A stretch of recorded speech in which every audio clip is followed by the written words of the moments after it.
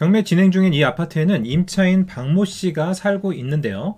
보증금이 3억 5천만 원입니다. 아이고 그런데 배당 요구 종기일이 4월 6일인데 경매 절차에서 보증금을 주세요라는 배당 요구를 뒤늦게 했습니다. 5월 4일 한 달이나 늦게 했네요. 오른쪽에 빨간 글씨로 배당 종기 이후 배당 요구함 이렇게 써 있네요. 그럼 법원에서 보증금 3억 5천만 원을 주지 않겠죠. 이 많은 보증금을 날리게 되면 낙찰받고 나서 내보내기가 어려워질 것 같네요. 어떻게 되었을까요? 안녕하세요. 집쌤입니다. 경기도 파주시 야당동에 한 아파트가 경매 진행되었는데요. 의정부 지방법원 고양 지원에서 진행합니다. 의정부 지방법원과 다른 곳이니 가실 때 조심하셔야 합니다. 아파트는 토지, 건물, 일괄 매각인지 체크하셔야 하고요. 대지권 미등기라고 되어 있죠? 아파트는 토지와 건물이 한 세트로 움직여야 하는데 대지권이 미등기라면 땅에 문제가 있을 수 있습니다. 자, 이것은 뒤에서 살펴보도록 할게요. 여기 써 있는 건물 면적 30.44평은 건물의 전용 면적입니다. 아파트 현관 내부에서 발코니 같은 서비스 면적을 제외한 것을 말하죠. 우리는 흔히 25평형, 33평형 이렇게 말하는데요. 이것은 공급 면적입니다. 전용 면적 30평이라고 써 있는 것을 보시고 시세 조사하실 때 공급 면적 30평을 조사하시면 안 되는 겁니다. 여기서 실수하시면 나만 말도 안 되게 가격을 저렴하게 쓰는 일이 발생합니다. 네이버 부동산을 통해 보면 이 물건은 전용 30.43평이고요. 공급 면적으로는 40평형인 물건입니다. 그럼 시세 조사하실 때 40평형 A타입 물건으로 조사를 해보셔야 정확한 것이죠. 구조도를 확대해서 볼게요. 발코니가 전면 쪽에도 있고 후면 쪽에도 있습니다. 우리나라에서 선호하는 마통풍이 가능한 판상형 구조입니다. 자, 남쪽으로 침실 3개, 거실 1개로 포베이 형태로 되어 있죠. 자, 이건 경매 물건인 40평형 A타입입니다. 같은 40평형의 B타입을 보니까 구조도가 특이하죠. 발코니가 L자 형태로 되어 있습니다. 타워형의 구조인데요. 맞통풍이 되지 않는 구조입니다. 개인차에 따라서 거실에서 탁 트인 뷰를 볼 수도 있고 주거 공간이 분리되는 이런 타워형 구조를 좋아하는 분들도 있는데요. 대부분은 앞장에서 보셨던 A타입의 판상형 구조를 더 좋아합니다. 그래서 판상형이 가격이 더 비싼 경우가 많아요. 그래서 같은 평형이라도 타입까지 확인하셔서 시세 조사를 하셔야 합니다. 이 아파트는 파주 운정 신도시에 있는 아파트인데요. 바로 위로는 운정 호수공원이 있고 동쪽으로는 경의 중앙선이 다니고 서해선이 확정된 야당역이 가까이 있습니다. 사업이 완료되면 김포공항까지 버스로 1시간 30분 정도 걸렸는데요. 30분으로 단축되게 되고요. 수도권에 14개 노선과 환승이 가능하게 됩니다. 그리고 서쪽에는 GTX-A가 개통 예정에 있죠. 올해 말 서울역까지 개통할 예정이고요. 삼성역 연결은 2028년에 이루어질 예정입니다. 2기 신도시라서 상권, 학군, 쾌적성을 잘 갖추고 있는 곳이에요. 서울과의 접근성이 떨어지는 것이 문제였는데 GTX 개통 서해선 연장으로 많이 좋아질 것입니다. 관리 분석을 할 땐 가장 먼저 말소 기준 관리를 찾으시면 됩니다. 유료 경매 정보를 보시면 이런 식으로 등기부를 요약해서 보여주는데요. 2009년 소유권이 우모 씨로 이전되었고요. 2018년에 근저당권이 가장 빠르네요. 한모 은행에서 집주인에게 돈을 빌려준 것입니다. 근저당권이 가장 앞에 있을 때는 말소 기준 권리가 되고요. 이것을 포함해서 뒤에 있는 모든 권리는 없어지게 되는 것입니다. 경매 권리 분석은 생각보다 쉽습니다. 아, 그런데 근저당권 다음으로 박모 씨의 주택 임차권이 3억 5천만 원의 등기부에 올라와 있습니다. 임차권이 올라와 있다는 말은 이 집에서 전세나 월세를 살던 임차인이 보증금을 받지 못했다는 것을 의미합니다. 주택 임차권 등기는 등기부의 접수일자 2020년 10월 16일 이것만 보면 안 됩니다. 등기부에 올라온 것보다 먼저 전입 신고하고 확정 일자를 받는 경우가 많기 때문에 그것까지 확인을 해보셔야 해요. 임차인이 있는 경우에는 세 가지 권리를 살펴봐야 하는데요. 보증금을 받을 때까지 버틸 수 있는 권리인 대항력, 경매 절차에서 순서대로 돈을 받을 수 있는 우선 변제권, 그리고 보증금이 소액일 때 먼저 들어온 담보 물권자보다 돈을 먼저 받을 수 있는 최우선 변제권이 있습니다. 일단 보증금이 많아서 최우선 변제권은 보지 않으셔도 됩니다. 그럼 대항력 먼저 보도록 할게요. 임차인은 2020년 10월 16일 전입 신고했고요. 같은 날 이사 들어왔다고 가정을 한다면 점유를 했다면요. 대항 요건의 효력 발생일은 2020년 10월 17일 새벽 00시가 되겠습니다. 말소 기준 권리가 2018년 12월 6일에 근저당권이기 때문에 임차인이 더 늦네요. 그렇기 때문에 이 임차인은 대항력이 없습니다. 박모 임차인은 보증금 3억 5천만 원을 받든 한 푼도 받지 못하든 낙찰자에게 대항할 수 없고 내보낼 수 있다는 뜻이 됩니다. 다음 법원에서 돈을 받으려면 우선 변제권이라는 것이 있어야 하는데요. 이것은 전입신고하고 점유하고 확정일자를 꼭 받아야 합니다. 그리고 또 하나 배당 요구 종기일이라는 법원의 마감일까지 돈을 달라는 배당 요구를 해야 합니다. 확정일자는 주간에 그 힘이 생기죠. 2020년 10월 16일 주간에 힘이 생깁니다. 이것과 대항요건의 효력 발생일 둘 중 늦은 시기를 기준으로 우선 변제권의 힘이 생깁니다. 그럼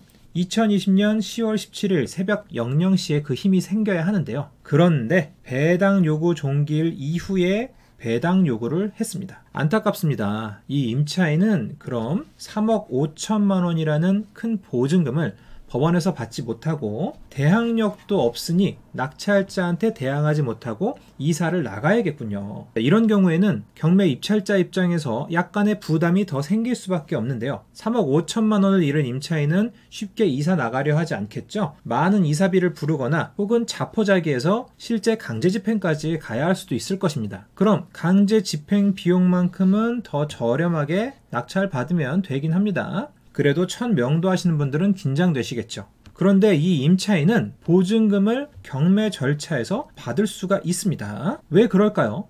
바로 임차권 등기 때문인데요. 등기부에서 주택 임차권을 자세히 보도록 하겠습니다. 보증금 3억 5천만 원을 계약 기간이 끝났는데도 돌려받지 못해서 해둔 것입니다. 근저당권 같은 경우 등기부에 접수 일자와 접수 번호를 보면서 순위를 정하면 되는데요. 주택 임차권 같은 경우는 접수 일자 하나만 보시면 안 됩니다. 오른쪽에 권리자 및 기타 사항에서 주민등록일자, 점유개시일자, 확정일자를 보시고 계산을 따로 해봐야 합니다. 둘 중 빠른 것 기준으로 임차인의 권리가 생기게 되는 것이죠. 그럼 보증금을 못 받은 상태에서 이사를 나가더라도 임차인의 힘이 계속 유지될 수 있는 것이죠. 주택 임차권 없이 보증금 못 받고 이사를 나가버리게 되면 대항력이 없어지고 우선 변제권도 없어지기 때문에 주택 임차권을 설정해 두고 이사를 나가는 것입니다. 일단 임차인의 주민등록 일자가 8월 17일로 기재되었다가 10월 16일로 경정되었죠. 그럼 임차인의 권리는 앞장에서 보여드린 것처럼 대항 요건의 효력 발생일과 우선 변제권의 힘은 2020년 10월 17일 새벽 00시 기준으로 생기게 됩니다. 접수일자인 2022년 기준으로 생기는 것이 아니고요. 이거 매우 중요한 부분입니다. 꼭 기억해 두세요. 그런데 문제는 우선 변제권에서 배당 요구 종기일 이후에 배당 요구를 했다는 것이죠. 잘 보세요. 이미 경매 개시 결정일이 2023년 1월 5일에 있었습니다. 이 날짜 이전부터 주택 임차권이 먼저 있었던 것이죠.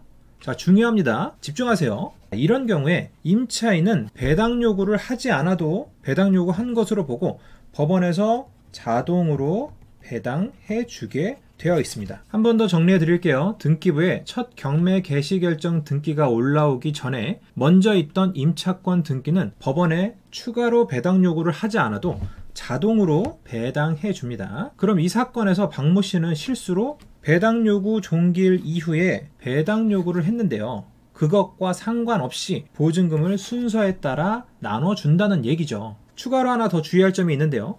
경매 개시 결정 뒤에 올라온 임차권 등기는 수동 배당입니다. 즉 배당 요구 종기일 마감일까지는 배당 요구를 실제로 법원에 해야만 돈을 준다는 것이죠.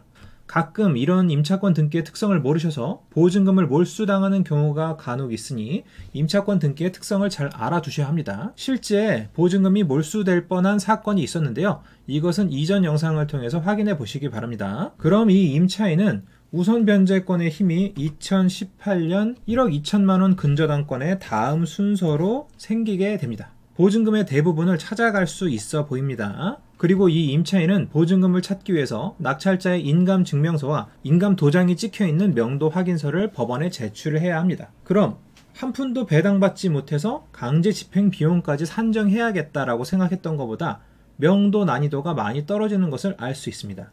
그럼 더 경쟁력 있는 가격을 쓸 수 있겠죠. 이건 저 혼자만의 생각이 아니고 대법원 판례에 서 이런 결과가 나타난 것입니다.